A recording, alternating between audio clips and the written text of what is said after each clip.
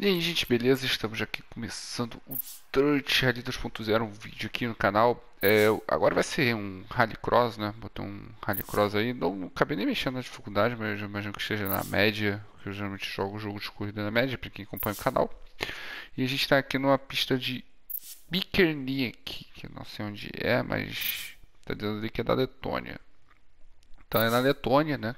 País aí muito visitado por todo mundo, né? Todo mundo aqui vai na Letônia, né, cara? Com certeza.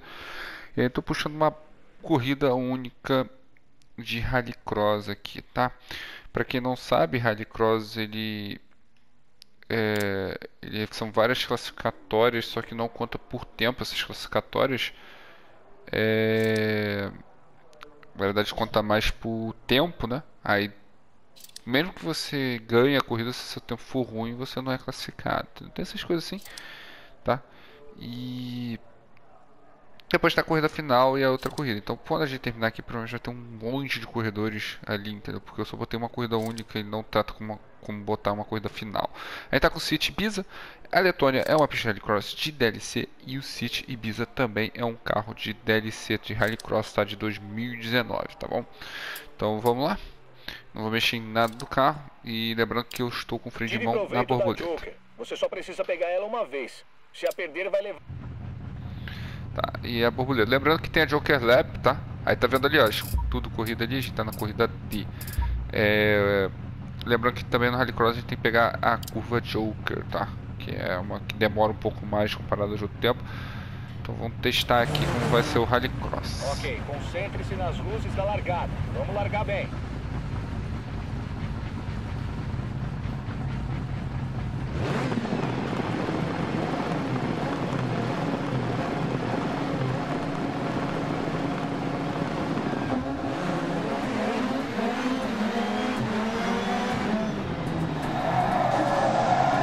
Nossa, já errei a curva. Nossa. É, é bom que eu vou seguindo a corrida sozinho. Chão tá molhado, né?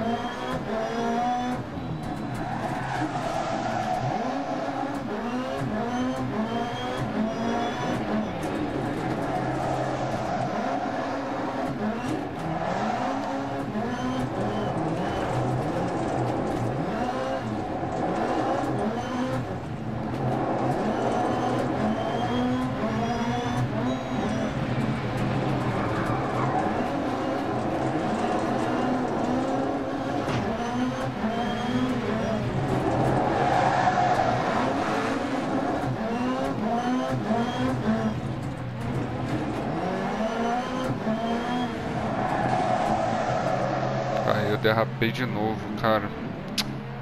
Errado. Derrapar, derrapar, beleza. É que eu derrapei errado. O ritmo está bom, mas não estamos bem. Precisamos alcançá-los o mais rápido possível. Era mais pressão no carro da frente.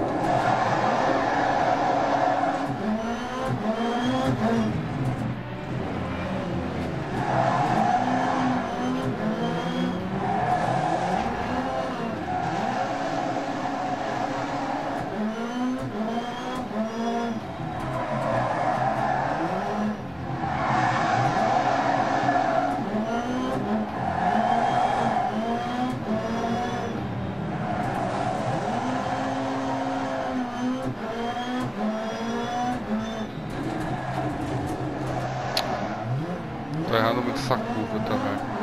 Eu não vou conseguir alcançar. Eu queria pelo menos alcançar, né? Eu não vou.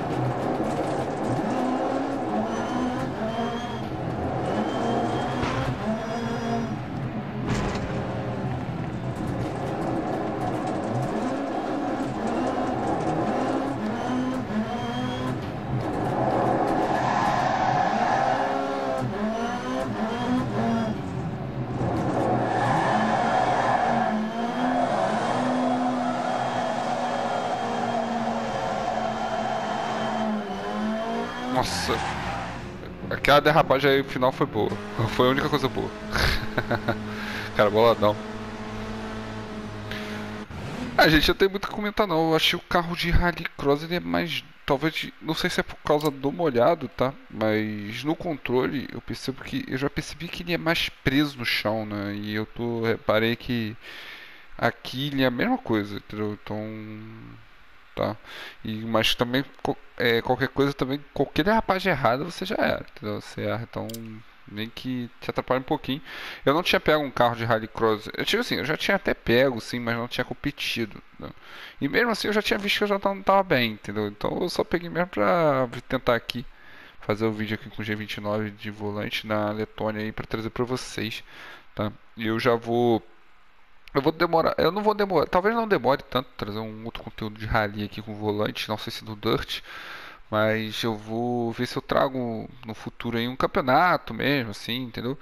Tudo mais, mas por enquanto é o próximo aí vídeo que vai ser vai ser do NASCAR Hit 4, tá bom? E a gente vê aí, tá? A aprovação de vocês no Dirt aí, ou no volante aí, tá? É, você incluiu do Rallycross. Rallycross foi um extra, tá?